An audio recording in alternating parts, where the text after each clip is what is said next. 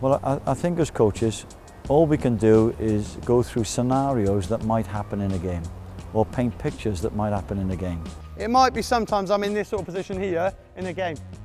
Now, am I going to receive on the half turn open? No. Because uh, he's just going to pinch it off me and take it, isn't he? So what might I do? Might be sometimes, just imagine there's someone there. So when you play feet here, rather than on the back foot, you might do that little one in there.